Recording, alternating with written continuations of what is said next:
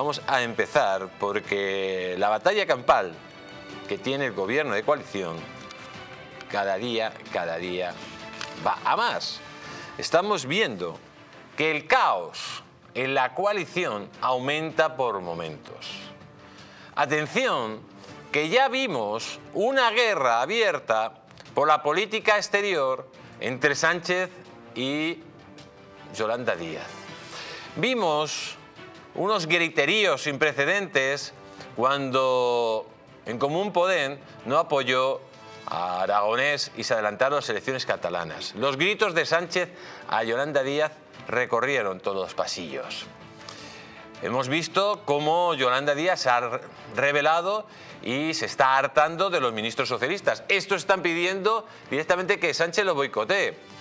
El caso que el gobierno está a punto de romperse, mientras Sumar por un lado está peleado con Izquierda Unida, con Compromís, un cisma con Podemos.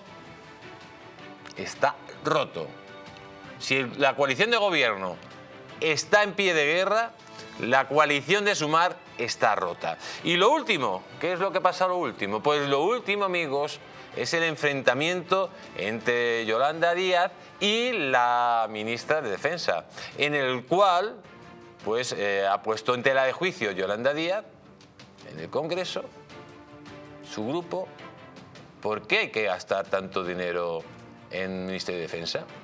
Y claro, eh, la señora ministra de Defensa, Margarita Robles, le ha respondido, oiga, necesitamos un ejército, eh, invertir en defensa supone puestos de trabajo y para conseguir la paz hay que estar preparado para la guerra. Esas son las tres cosas. ¿Esto qué es lo que pronostican los analistas? Pues que puede, amigos, que este gobierno, la coalición se descrebaje, o sea, se rompa antes de finalizar el año. Porque además, Vascongadas, los datos son penosos para Yolanda Díaz. Hablan de ceros caños. En Cataluña no va a ir mucho mejor. Y en las europeas va a ser un descalabro sin precedentes. Todo el caso Begoña Gómez, ¿a quién está perjudicando más? A Sumar. Y Sánchez lo quiere aprovechar para quedarse con sus últimos rescoldos.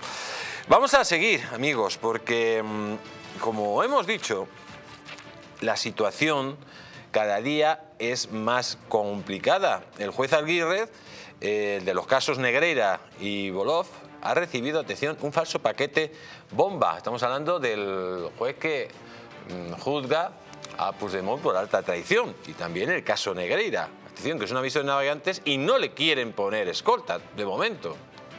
Y ojo, que esto, estas amenazas son muy serias, porque vienen de donde vienen, ¿no?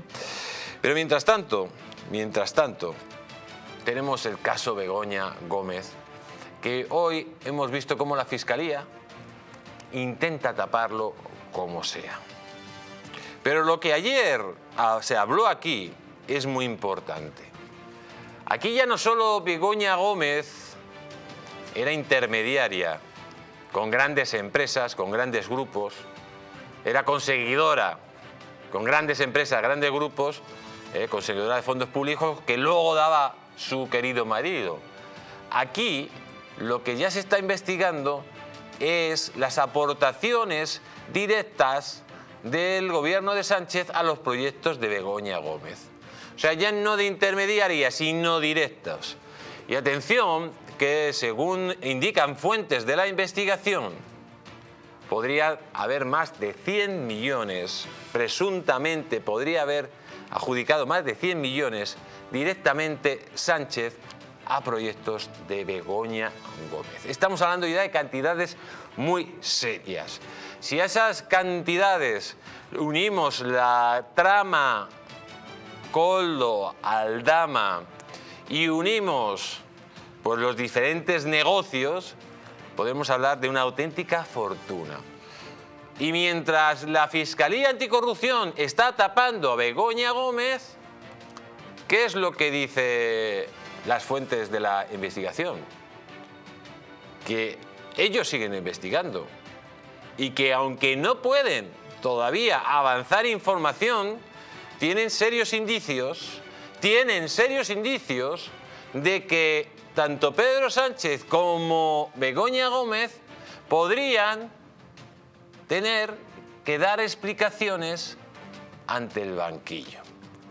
Atención que por un lado la Fiscalía está intentando parar todo, por otro lado vemos a los políticos que están muy parados y por otro lado la Guardia Civil está diciendo, danos tiempo, que aunque Marlasca nos está quitando todos, todos, todos los recursos posibles para la investigación, aunque Marlasca está presionando día sí, día también, al estilo Marlasca, sino que se lo digan a Pérez de los Cobos, y si no que se lo digan a esos policías, a esos guardias civiles que estaban cuando llegó Delsi, a ese estilo, al estilo Marlasca, al estilo Marlascón. Pero claro, los investigadores no van a parar. Estos no son de los que se dejan llevar, de los que tienen miedo. Están tocando, han cogido hueso y no lo sueltan.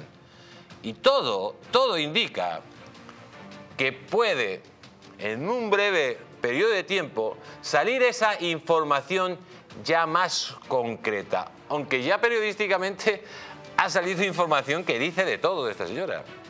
Que si está querellada por dirigir una cátedra sin tener cualificación, que si recomienda a una UTE por medio de una carta y encima la UTE ni siquiera cumple los requisitos para que la adjudiquen el contrato y le dan 10 millones de euros, que si tiene una página web eh, fraudulenta, que también está denunciada.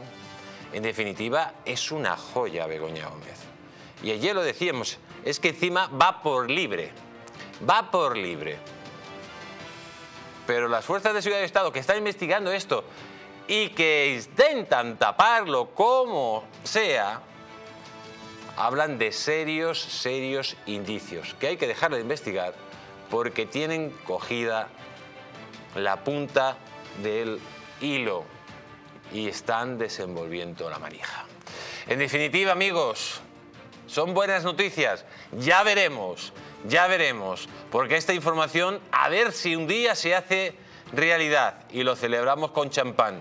Y se acaba de una vez por todas los begoñazos. Y recuerden amigos, que no les engañen, que no, que no les engañen, porque la verdadera libertad consiste en estar bien informados.